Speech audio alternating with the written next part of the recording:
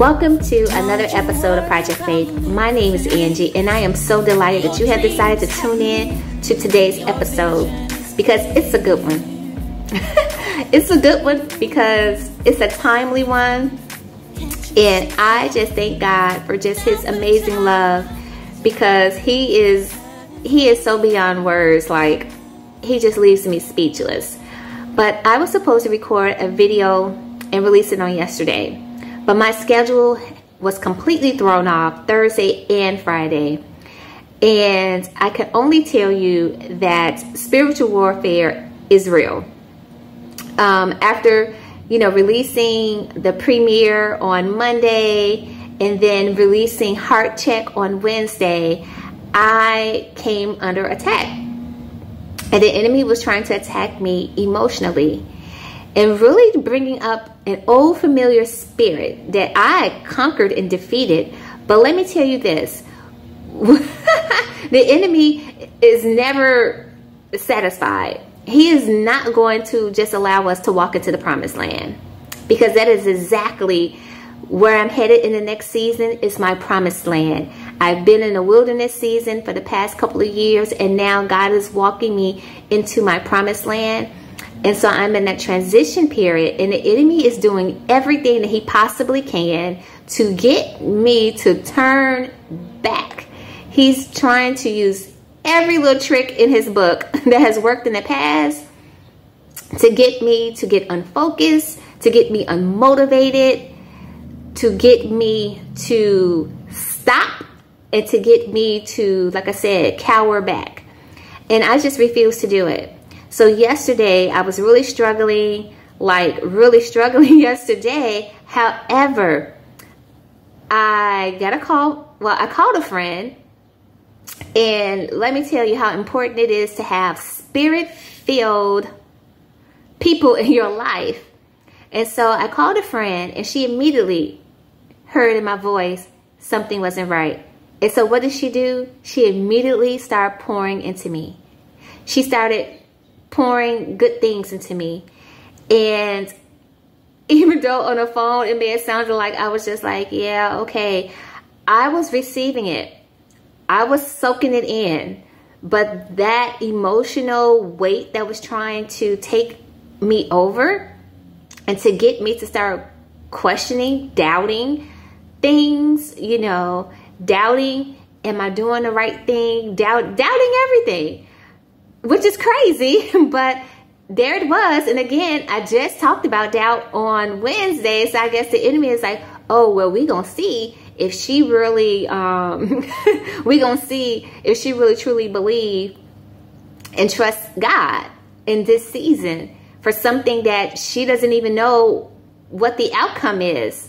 Because again, like I said in the video, um, in the intro video, as well as in um, episode one, I don't know where I'm moving. I don't know where my final destination is going to be, where my base camp home is going to be. Um, because the Lord has not given me that um, place yet, but He has given me direction to move, to start moving.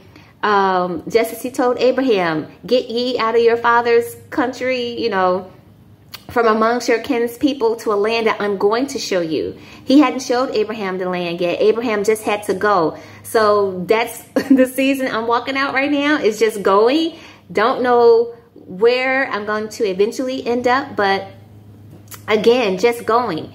So anyway, um, talking to my friend, she's pouring into me.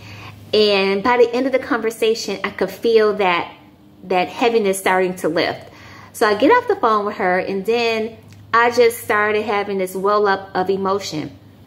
So I went and I just, uh, because I was working on something as well, and I'm going to share more in detail about this on Monday, episode number two of Project Faith. So make sure you tune in. I'm going to get more into depth about um, what was actually going on because again, it's it's all a part of the process. And like I said, God is so amazingly good. But anyway, so I get on the sofa and I'm just there and I'm just wanting to, I feel myself like wanting to cry. But then something said, what, what are we crying for?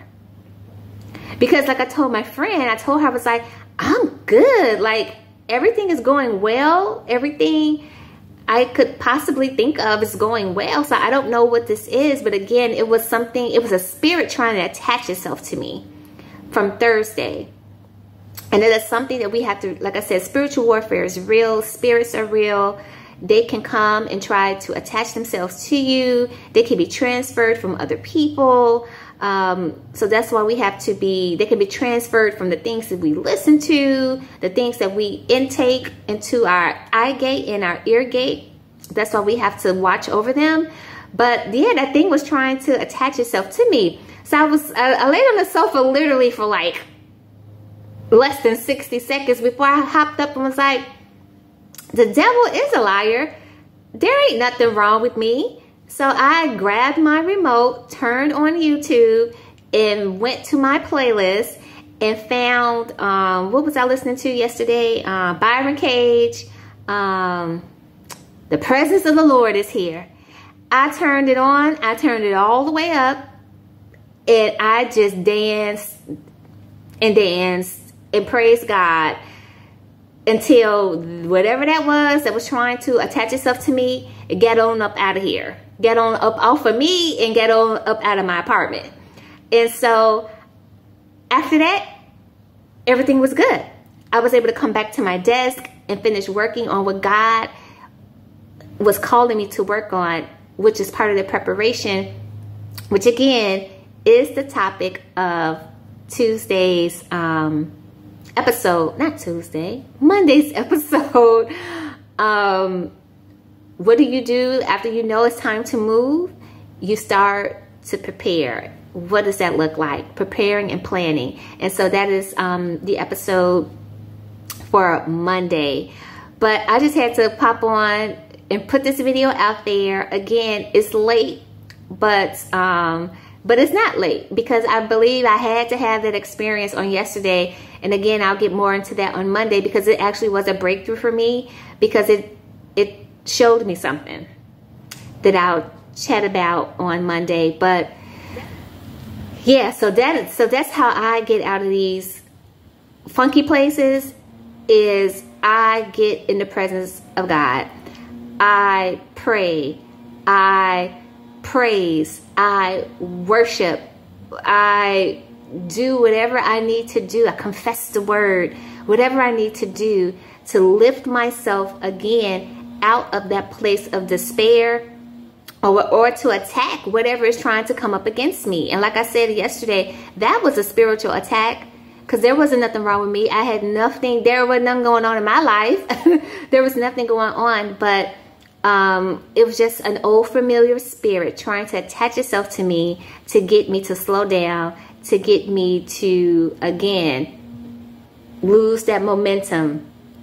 But praise God for discernment, praise God for the Holy Spirit, and praise God for spirit-led friends who pray for you as well as pour into your lives. And so um, again, that's all I have for you guys today. I just want to share that because, again, I feel it's timely. You know, you guys are walking through this journey with me, so I want to be transparent and just share with you guys where I am because every day is not a good day, you know. That's just life. But how do I get through it? The Word of God.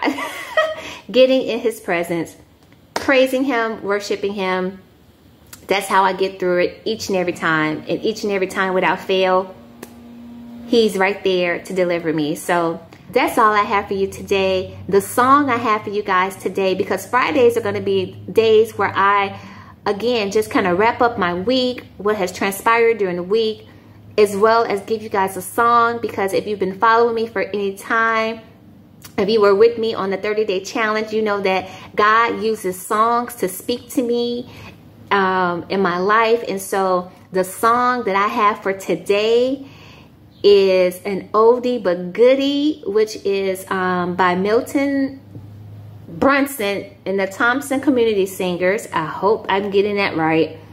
And it is Lord, I Believe. OMG. All things are possible.